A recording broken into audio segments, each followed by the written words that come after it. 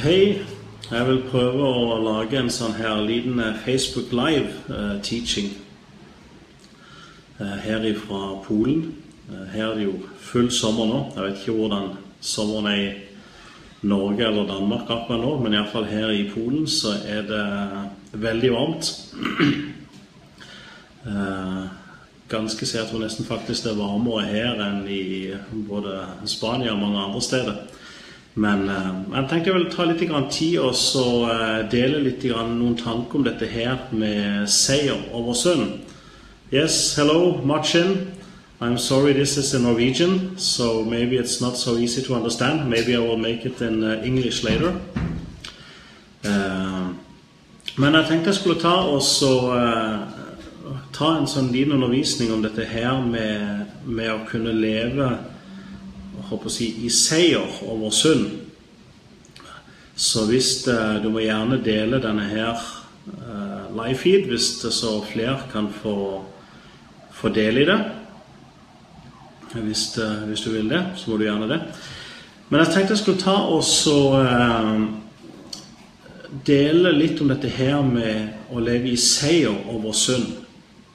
Og, og jeg syns det er utrolig trist å se at det er ufattelig mange kristne som, eh, som lever egentlig fullstendig beseira når det kommer til synd.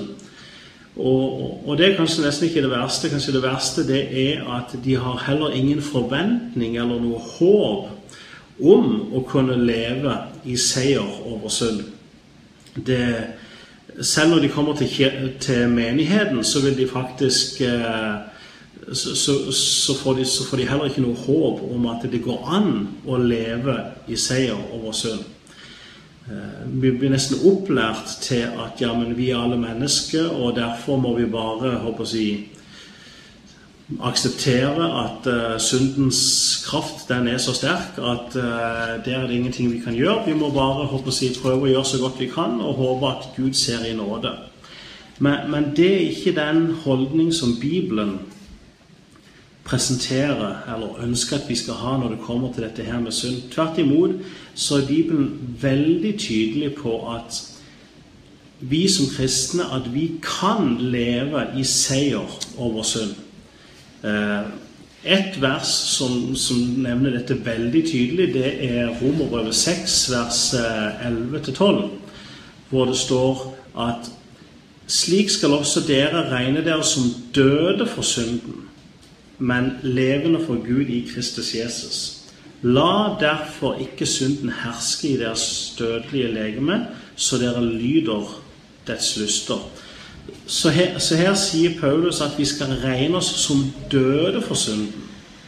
Dessverre så er det veldig mange kristne som, hvor det nesten vil være helt utenkelig å regne seg sjøl som død for synden. Fordi de lever i, i fangenskap. De, har, de, de har ikke fått undervisning om at det er mulig å leve i seier over synd. Og fordi ikke de har fått noen undervisning om det, så har de heller ikke noen forventning om at leve i seier over synd. Når Jesus kom, så kom han for oss å sette oss fri synden. Han, han, han kom ikke kun for å for at vi skulle streve oss gjennom dette livet, beseire synd, og så i siste ende håper jeg kunne komme til himmelen allikevel. Når Jesus kom, så kom han for oss å sette oss fri. Eh, når engelen kommer til Josef, åpenbarer seg for Josef i Matteus kapittel 1, så sier han, så sier han, til, så sier han til Josef og Maria så sier han at hun skal føde en sønn, og du skal gi ham navnet Jesus for han skal frelse sitt folk fra deres synder. Så Jesus han kom for å frelse ifra synd. Eh, mange vil si at det betyr at han skal tilgi oss vår synd. Det det, var det engelen mente når han sa at, han skal, at, vi skal frelse oss fra vår synd. Og det er selvfølgelig sant. Jesus han tilgir synd. Eh, det, er en, det er en del av det. Men vi må huske at tilgivelse for synd, det var ikke noe nytt når det kom til den nye pakt. Eh, den nye pakts, den nye pakts løfte det var ikke at det vil komme en dag hvor Gud vil tilgi synd. den nye pakts løfte det var at det ville komme en dag hvor Gud ville fjerne selve roten av problemet. Han, ville fjerne synden, ikke bare dekke over han, men han ville ta den fullstendig vekk. Eh, Esekiel f.eks. profeterer om den nye pakt. Eh, og så, så, sier han i Esekiel 36, eh, eller Gud sier i Esekiel 36 vers 26 og 27, så står det Jeg gir dere et nytt hjerte, og en ny ånd gir jeg inni dere. Jeg tar steinhjertet ut av kroppen deres og gir dere et kjøtthjerte i stedet. Jeg gir min ånd i dere og gjør at dere følger forskriftene mine holder lovene mine og lever etter dem. Så det vi ser her, er jo et tydelig eksempel på at på måte, noe av det som, som Gud her gjennom Esekiel profeterer om, er at det vil komme en dag hvor Gud vil gi oss, ta ut kan man si, roten av problemet og gi oss en kraft til å kunne leve i seier. Det samme står det i eh, kapittel 11, Esekiel 11, 19-20 hvor det står 'Jeg gir dem et annet hjerte, og en ny ånd gir jeg inni dem'. Jeg tar steinhjertet ut av kroppen deres og gir dem et kjøtthjerte isteden, slik at de kan følge mine forskrifter, holde fast ved mine lover og leve etter dem. De skal være mitt folk, og jeg skal være deres Gud. Ja, Jesus han tilgir synd, men frelsen er større enn at bare Jesus tilgir synd. Jesus kommer for å sette oss fri. Jesus sier i Johannes 8, 36 at den sønnen får, gjort, for sønnen frigjort dere, da blir dere virkelig fri. Jesus døde ikke på korset bare for at vi skulle leve beseira av synd i dette livet og håpe på at når vi da en dag skal foran Gud, så vil vi allikevel bli frelst. Jesus kom for å sette oss fri og når Jesus kom for å sette oss fri, så var det for å sette oss fullkom, fullkommen fri. Jeg ser Jan Olsen her spør om jeg har klippa håret, og det er riktig. Jeg har klippa både håret og skjegget, så skjegget er litt kortere her. Eh, det er jo sånn som må til på sommerstida. Eh, så det er bra. Du har ikke så mye hår å klippe, du Jan, men eh, du kan jo kanskje la skjegget gro istedenfor. Men eh, Jesus han kom for å sette oss fri, og han døde ikke på korset for at vi fortsatt skulle være i fangenskap under synd. Jesus døde. Jesus kom, og han, satt, og han døde på korset for å sette oss fri. Så er jo spørsmålet ja, men hva betyr det at vi ikke lenger er slave under synd? Eh, hva betyr det kan man si, å være fri fra synden? Og jeg tror ikke det at vi ikke lenger er en slave under synd, jeg tror ikke det nødvendigvis betyr at vi aldri mer kommer til å gjøre en synd. Eh, selv om jeg tror at når vi er frelst, så, så er synd overhodet ikke naturlig for oss. Men jeg tror ikke det nødvendigvis betyr at ikke vi lenger har en fri vilje, så, så, vi har en, kan man si, en fri vilje til å velge det onde. Det tror jeg vi fortsatt har. Men jeg tror når vi blir frelst, så får vi en indre kraft som, som er sterk nok til å beseire synden. Jeg tror det her med å være fri fra synd jeg tror det kan, kan deles opp i, et, i uh, to hovedkategorier. Det ene det er at vi har fått en ny drivkraft. Sånn at før, før vi ble frelst, så hadde vi ikke kan man si, den drivkraften i oss som vi trengte til å kunne leve fri fra synd. Men når vi blir frelst, når vi blir født på ny, så får vi en indre drivkraft som gjør at vi blir i stand til å leve annerledes. Eh, Paulus sier i 1. Korinterbrev 10,13 så sier han at dere har ikke møtt noe overmenneskelig fristelse. Og Gud er trofast. Han vil ikke la dere bli fristet over evne. Nei, når dere blir fristet, vil han vise en utvei, slik at dere kan holde ut. Hvis Bibelen sier at, vi, at Gud ikke vil tillate at vi blir frista over evne, så betyr det at jeg har ikke møtt noen fristelse som ikke er i stand til å stå imot. Det betyr at jeg som kristen jeg har kraft i meg til å leve i fullstendig seier over synd. Fullstendig. Synd behøver ikke å ha noe som helst makt. Synd skal ikke ha noe makt over meg som kristen, fordi Gud har gitt meg det jeg trenger for å kunne leve i seier.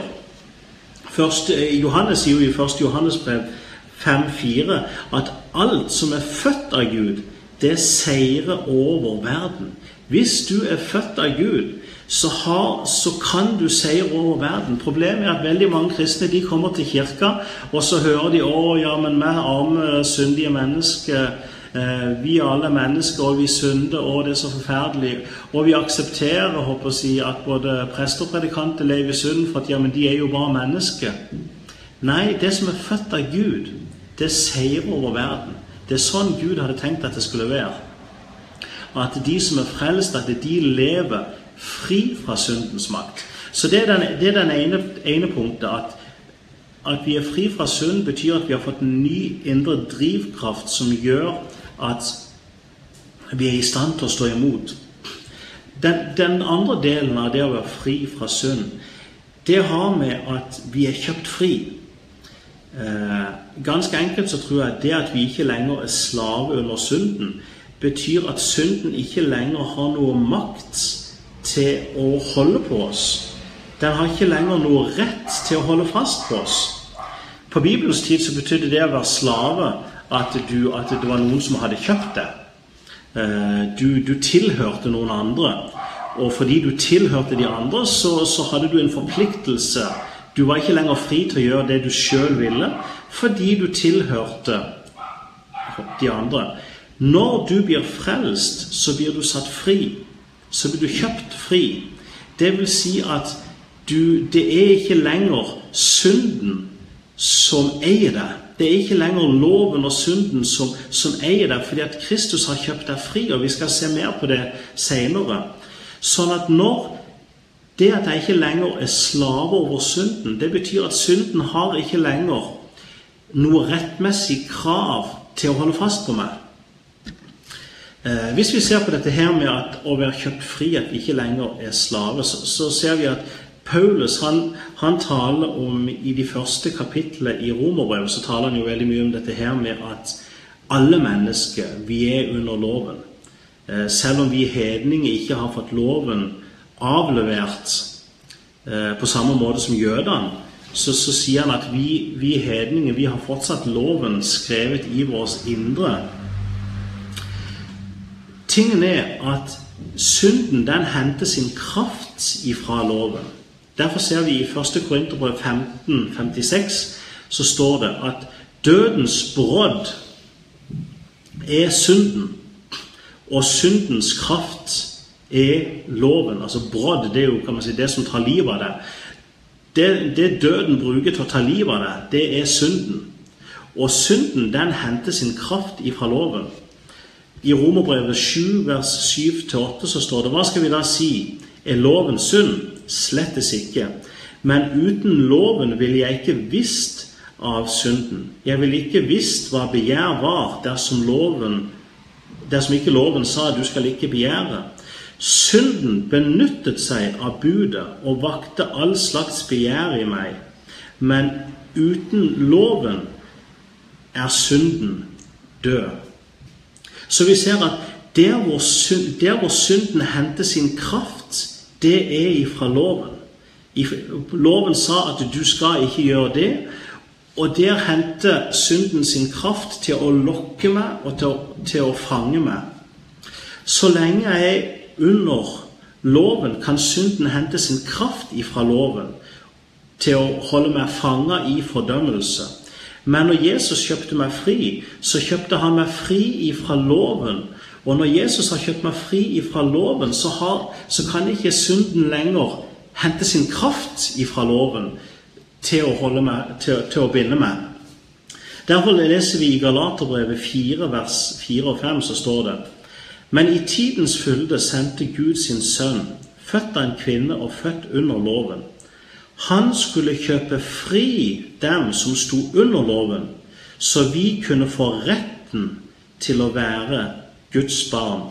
Og så sier han litt senere, du kan jo lese hele kapittelet hvis du vil senere, men nede i vers 7 så sier han Derfor er du ikke lenger slave, men sunn. I Romerbrevet kapittel 7 ser vi at loven kun gjelder så lenge et menneske er i live. Bl.a. i vers 1 så taler Paulus om det at loven er kun gyldig så lenge en person lever. Men når jeg blir, kan man si, blir frelst Noe av frelsen, det er at jeg faktisk dør. Jeg blir korsfesta med Kristus. Eh, derfor, sier, derfor, står det sånn i Romerbrevet 7, vers 4-6, hvis vi leser det. Slik er det også med dere, mine søsken. Gjennom Kristi kropp er dere døde for loven. Dere tilhører en annen, han som har stått opp fra de døde, for at vi skal bære frukt for Gud. Da kjøtt og blod hadde makten over oss, gjorde loven at de syndige lidenskaper ble vakt til live i lemmene våre så vi bar frukt for døden. Men nå er vi løst fra loven. Legg merke til at han sier at nå er vi løst fra loven. Vi er døde fra det som bandt oss. Derfor tjener vi Gud i et nytt liv, i ånden, og ikke i det gamle etter bokstaven. Når Jesus døde på korset, så kjøpte han retten til å ta hele menneskeheten med seg opp på korset. Så vi, ble, vi, vi døde med Kristus. Men når vi døde med Kristus, så står det òg at vi skulle bli begrava sammen med Han. Problemet er at veldig, hele verden den er død med Kristus, men det er ikke alle som har fått kan man si, det gamle mennesket begrava. De har ikke akseptert den død jeg, som Jesus brakte for dem. Og fordi ikke de har akseptert, fordi at ikke de har fått gravlagt det, jeg, det gamle mennesket, så har de ikke gjort seg ferdig med det gamle mennesket.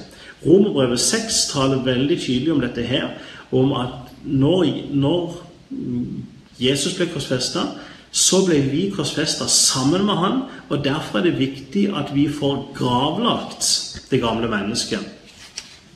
Kan lese et lite avsnitt her fra Romerbrevet 6, det er fra vers 1 til 7, hvor det står hva, hva skal vi da si? Skal vi fortsette å synde så nåden kan bli enda større? Slettes ikke. Hvordan kan vi som døde bort fra synden, fremdeles leve i den? Med andre ord, det er helt unaturlig at vi skal leve i synd. Så fortsetter han. Eller vet dere ikke at alle vi som ble døpt til Kristus Jesus, ble døpt til hans død?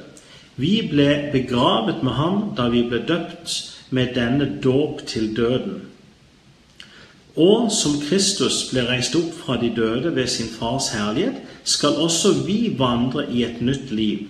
Har vi vokst sammen med Kristus i en død som er lik hans, skal vi være ett med ham i en oppstandelse som er lik hans. Vi vet at vårt gamle menneske ble korsfestet med ham for at den kroppen som er underlagt synden, skulle tilintetgjøres, og vi ikke lenger skulle være slaver under synden. For den som er død, er befridd fra synden. At vi er befridd fra synden, betyr ikke at vi aldri mer kommer til å gjøre en synd.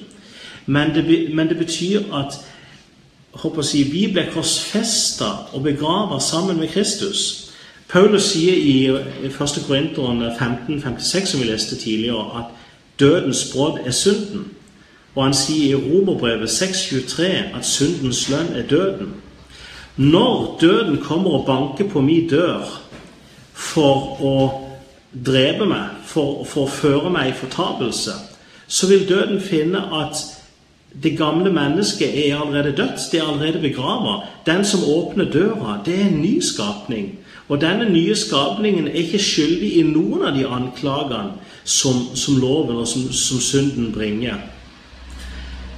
Andre Korinterbrev 5,17 så står det at den som er i Kristus, er en ny skapning.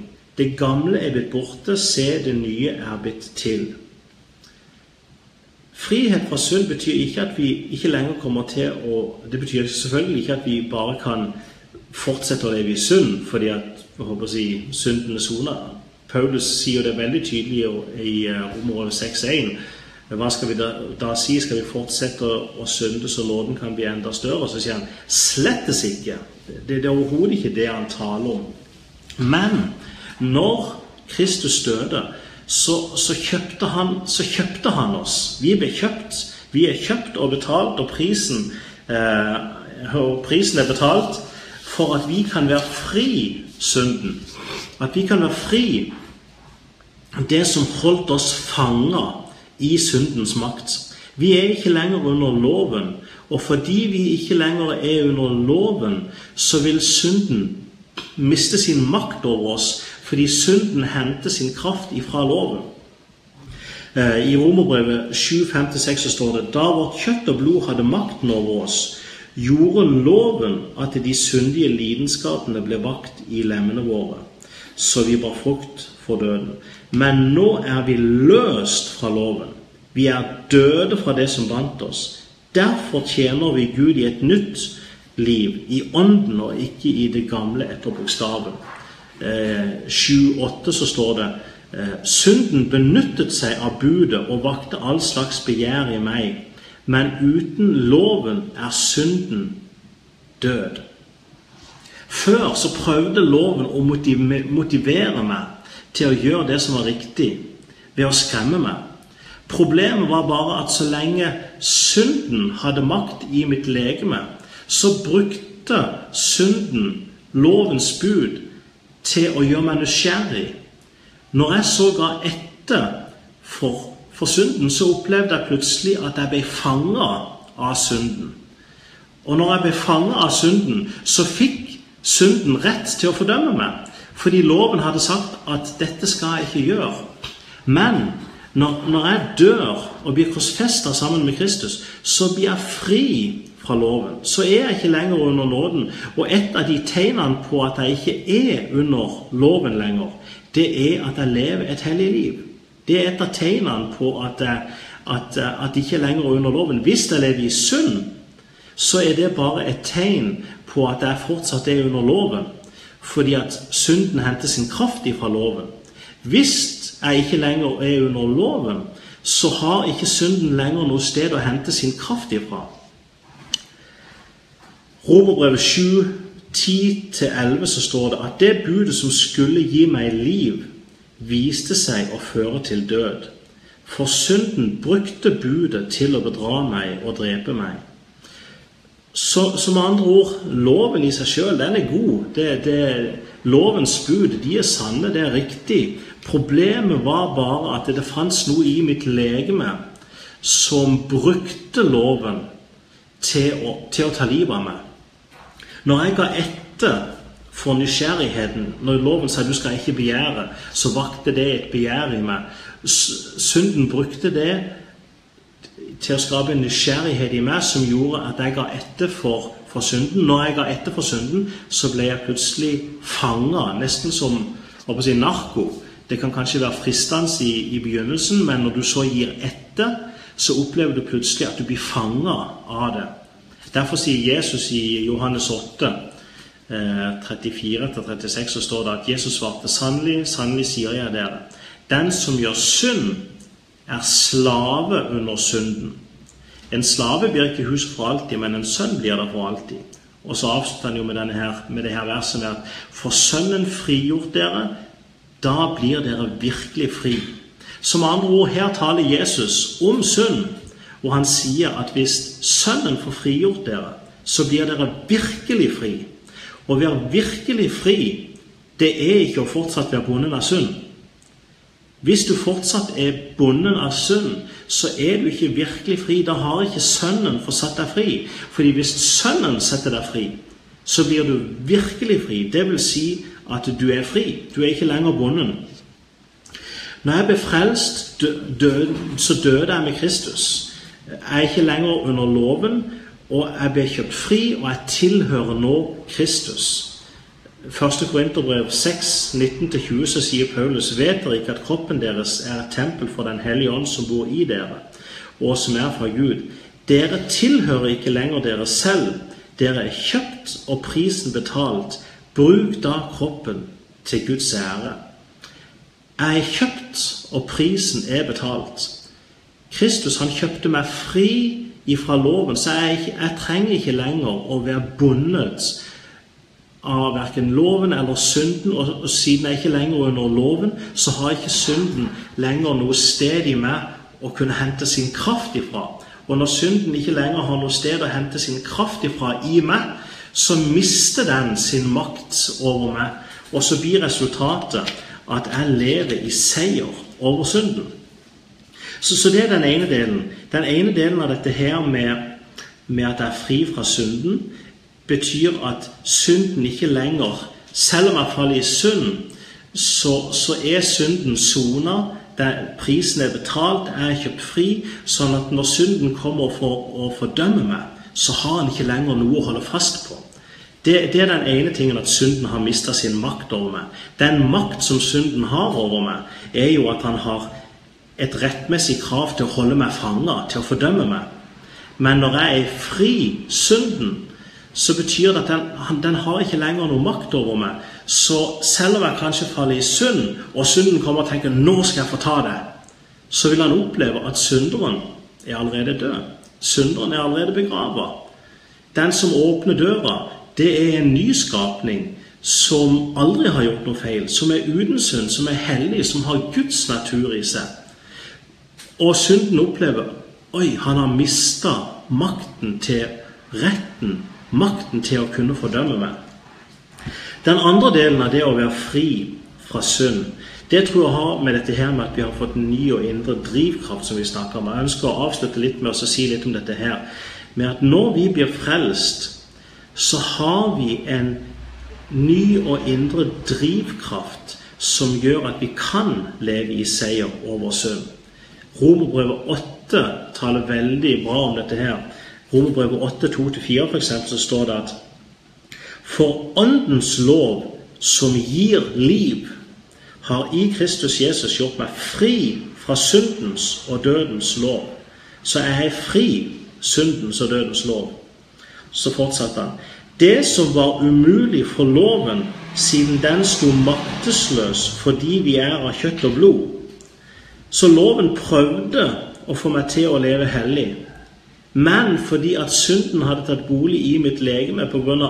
Adams og Evas fall, så selv om loven prøvde, så, så oppdaga loven at ja, det var umulig å få meg til å gjøre det som var riktig, fordi at det fantes en drivkraft inni meg som hele tida dro meg mot synd.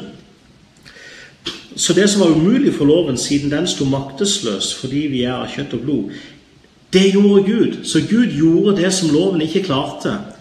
Hvordan gjorde han det? Han sendte sin egen sønn som syndoffer i samme slags kjøtt og blod som syndige mennesker har, og holdt dom over synden i oss. Slik ble lovens krav oppfylt i oss. Slik ble lovens krav oppfylt i oss, som ikke lever slik kjøttet vil, men slik ånden vil. Så jeg har nå et valg om å kunne velge å leve etter ånden eller etter kjødet. Jeg har nå en indre drivkraft i meg som gjør at jeg kan leve i seier. Det er derfor Esekiel han sa at når han profeterte med den nye pakt, så sa han at Gud skulle gi oss et nytt hjerte, en ny, gamle, det gamle hjertet som hadde i seg en drivkraft mot synd. Det skulle bli tatt ut, og så skulle bli plassert inn et nytt hjerte i meg som hadde en drivkraft etter å gjøre det som var Guds vilje. Peter han sier det på denne måten i 2. Peters brev 1, 3-4. Så sier han ja, alt vi trenger for å leve i Guds frukt har Hans guddommelige makt gitt oss i gave ved at vi kjenner Ham som kalte oss ved sin egen herlighet og makt. Slik har vi fått de største og mest dyrebare løfter. Ved dem skulle dere få del i guddommelig natur når dere har sluppet unna forfallet som kommer fra lystene i verden. Når vi har fått alt vi trenger for å leve et gudfryktig liv, så betyr det at vi har fått alt vi trenger for å kunne leve i seier over synd. Jeg har ikke fått alt jeg trenger for å leve et gudsfryktig liv hvis ikke jeg er i stand til å leve i seier over synd. Å leve et gudsfryktig liv og leve et liv i synd, det, det, det er motsetninger. Det, det, går ikke sammen. Men Peter sier her at Gud ved sin guddommelige makt har gitt oss alt vi trenger for å leve i seier over synd. Han sier at vi har fått del i de største og mest dyrebare løfter jeg tror inkludert i de største og mest dyrebare løfter så ligger det kraft til å leve i seier over synd. Problemet er at vi blir indoktrinert igjen og igjen og igjen at vi kan ikke leve i seier over synd. Vi kan aldri leve i full Det er bare drømme, drømmespinn og kunne håpe om å kunne leve i seier og synd. Det er bortkasta å kunne håpe på å noen gang kunne leve i fullstendig seier og synd. Fordi vi blir indoktrinert med disse tankene, så, så holder disse tankene oss fanga. Mens Bibelens budskap er at vi kan leve i seier over synd. Kristus har kjøpt oss fri fra loven, der hvor synden hender sin makt. Han har kjøpt oss fri fra det. Han har gitt oss sin ånd i, i vårt indre. Vi er født av Gud. Det som er født av Gud, det seirer. Det som er født av Gud, det seier over denne verden. Det seier over synd. Eh, første Johannesbrev er jo et brev som mange kanskje har problemer med. Men der står det i 1. Johannesbrev 3,9 så står det noen radikale vers. Der står det at den som er født av Gud, gjør ikke synd. For det Gud har sådd, blir i ham. Han kan ikke synde for han er født av Gud. Mange mennesker de leser disse vers og håper jeg, føler seg fordømt fordi de ikke forstår dette her med ånd, sjel og legeme. Og jeg tror For å virkelig kunne forstå disse vers, så må vi forstå dette her med ånd, sjel og legeme. Det som er mitt kjød, det er ikke født av Gud. Selv om jeg er frelst og født på ny, så er ikke mitt kjød født av Gud. Det, det er født av min mor. Selv etter jeg er blitt frelst, så er ikke mitt kjøtt født av Gud. Men det er noe i meg som ikke er født av min, av min mor. Eh, I Johannes 3,6 så står det at det som er født av kjøtt, er kjøtt, og det som er født av ånd, er ånd. Det er noe av meg som er født av kjøtt. Det er mitt fysiske legeme. Det er født av min mor. Men det er noe av meg som er født av ånd, og det er mitt indre menneske, min ånd den er født av Gud. Og den kan ikke synde. Jeg kan ikke, Min, ånd det, det, den er ikke i stand til å synde, fordi at Guds sæd, det som Gud har sådd, det blir i han. Han kan ikke synde fordi han er født av Gud. Det betyr at om du er født av Gud, så er det noe i deg som protesterer når du synder.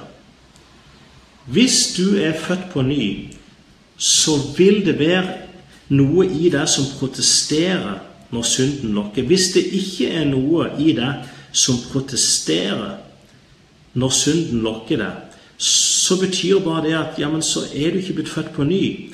Fordi at hvis ikke det er noe i deg som protesterer når synden lokker, så, så betyr det at ja, men da har ikke det blitt født i deg ennå. Men når du har blitt født på ny, så vil du oppleve at det er noe i deg som protesterer når synden lokker deg. Og derfor vil det være umulig for en som, som er født på ny, å leve i synd. Det, det, vil være en umulighet, fordi det vil være en protest inni han som gjør at ja, men jeg kan ikke jeg kan ikke fortsette å leve i synd fordi at jeg får det dårlig. Jeg kjenner, meg, jeg kjenner det, det her er galt. Det, det, er ikke dette jeg ønsker. Fordi at det nye livet som er født i meg, det, det har i seg en dragning etter det som er hellig, det som er rett, det som er rent. Når du leser håper jeg, 1. Johannes 3, så ser man at Johannes taler om at det som kjennetegner de som er født av Gud, det er at de har her, denne her lengselen etter å gjøre det som Gud vil, etter, etter ikke synde. Hvis man har håper jeg, en lengsel etter synd, en måte, så betyr det at ja, så, er, så, er, kanskje ikke dette her nye livet født i oss som, som burde protestere imot synden. Paulus sier noe interessant i Romerbrevet 7,17. Så sier han om dette her med synd, så sier han at så er det ikke lenger jeg, min ånd, som gjør det, altså synden, men synden som bor i meg, mitt legeme. Sånn at ja, når jeg er født på ny, så, så, kan, det godt være at jeg faller i synd. Men jeg vil aldri kunne leve der. Jeg vil aldri kunne være der. Det vil aldri være normalt for meg å leve i synd. Det vil aldri være normalt for meg å synde. Hvorfor ikke? Fordi at jeg har et liv inni meg som vil protestere om jeg blir frista til å synde. Og det livet i meg som protesterer mot synden, det er det sikreste tegnet på at jeg er født på ny. At jeg, at jeg er frelst. Eh, Romerbrevet 8,6 så står det at for det kjøttet vil, er død, men det ånden vil, er liv og fred. Som født på ny så må jeg nå bestemme om jeg vil la kjøttet styre meg, eller om jeg vil la ånden styre meg. Hvis jeg lar kjøttet styre meg, så sier Paulus at det vil føre til død. Det vil føre til en åndelig død om jeg lar kjøttet styre mitt, mitt liv. Men om jeg lar ånden styre mitt liv, så vil det føre til liv og fred. I Romerbrevet 8,13 så står det hvis dere hvis dere lever slik kjøttet vil, skal dere dø. Men hvis dere ved, åndens, ved ånden dreper kroppens gjerninger, skal dere leve. Så når jeg er blitt født på ny, så har jeg fått noe i meg som gjør, at, som gjør meg i stand til å kunne drepe kjødets gjerninger, syndens lyst i meg. Hvis jeg lar Ånden få regjere i mitt liv, så vil jeg ikke leve i synd. Hvis jeg lar Ånden få komme til i mitt liv, så vil jeg leve i full seier over synd, fordi at Ånden har kraft i seg til å, la, til å hjelpe meg til å leve i seier over synd. Eh, Romerbrevet 8, 9-11 så står det Men dere er ikke kjøtt Men det er ikke eh, Men det er ikke kjøttet som har makt over dere. Det er Ånden. Så sant Guds ånd bor i dere.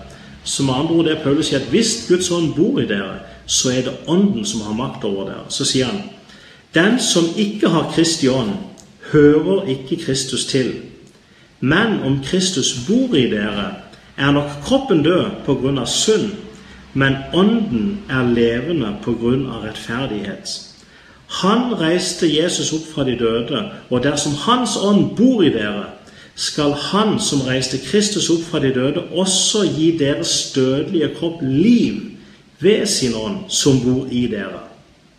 Som andre ord Når jeg er frelst og født på ny, så har jeg fortsatt et legeme som er besmitta av synd. Men jeg har et liv inni meg som er sterkere, og dette livet kan levendegjøre mitt legeme, sånn at jeg nå har kraft til å leve i seier. Ja, mitt legeme er fortsatt besmitta av synd. Mitt legeme det vil ikke leve evig, det vil bli lagt i jorda, det vil gå i forråtnelse. Men jeg har et liv inni meg som gjør at så lenge jeg lever her på denne jorda, så har det indre livet makt til å gi liv til mitt dødelige legeme. Galaterbrevet 5,24 sier at de som hører Kristus til, har korsfesta kjødet med dets lidenskaper og begjær. Det, det, er mye vi kunne ha sagt om dette, her, men, men essensen er at for oss som kristne så er ikke synd normalt. Det er ikke normalt for oss som kristne å synde. Det normale for oss som kristne det er å leve i seier over synd. Hvis du ikke opplever det, så kan det være fordi at du ikke har blitt forkynt at du kan leve i seier over synd. Det kan være at du har blitt indoktrinert igjen og igjen og igjen om at ja, men du kan ikke leve i seier over synd, du må bare prøve å gjøre så godt du kan og håpe at Guds nåde eh, vil frelse deg til, til slutt. Men om du holder fast i de tankene, så vil du aldri seire over synd. Du må ta en bestemmelse om du skal la Ånden regjere i ditt liv, eller om du vil la Gud få regjere i ditt liv. Når du er frelst og født på ny, så har du fått et indre liv i deg. Det livet har makt i seg til å seire over synden. Det er makt, det, alt som er født av Gud, det seirer over verden. Alt som er født av Gud, det har en kraft i seg til å leve i seier. Når Jesus på korset i eh, Johannes 1930 så sier han at det er fullbrakt. Når Jesus sa 'det er fullbrakt', så betyr det at det var ferdig. Det var en fullkommen seier. En fullkommen seier betyr ikke at ja, din synd er tilgitt, men synden er så sterk at du kan nok ikke leve i seier over den. Nei, fullbrakt betyr det er fullbrakt. Det er ferdig, det er fullkomment. Den, den seier Jesus vant for oss, den inkluderer kraften til å kunne leve i seier over synd. Selvfølgelig er det mye vi kan si her om fornyelse av sinnet og de her ting, men jeg ønsker bare å oppmuntre deg, prøve å gi deg tro på at du kan leve i seier. Jeg ønsker at du skal i dag prøve å meditere. Du må gjerne høre denne talen igjen. Jeg kommer til å legge ut disse skriftsteder og de her ting på, på bloggen min på ronaldgabrielsen.no. Ta det, les det, mediter på det. Fordi at hvis ikke du vet at du er fri fra synd, så blir det òg vanskelig å leve i seier over synd. Veldig mange kristne de lever som slaver som er satt fri. Men fordi ikke de vet de er satt fri fra synd, så lever de fortsatt under samme tak som slavedriveren. Så gjør de fortsatt det slavedriveren sier, fordi at de tror at de ikke kan si nei. De gode nyhetene er at du kan si nei til synd. De gode nyhetene er at den gamle slavedriveren han har ikke lenger noe rett til å få deg til å synde. Han har ikke lenger noe makt til å få deg til å synde. Du er kjøpt fri. Du er satt fri. Kristus har brakt et fullkommen verk. Og når du blir lokka av synd nå, så har du makt, kraft i deg. Hvis du er født på ny, så har du den kraft du trenger til å kunne stå imot fristelsen og leve i fullkommen seier over synd. Det er gode nyheter.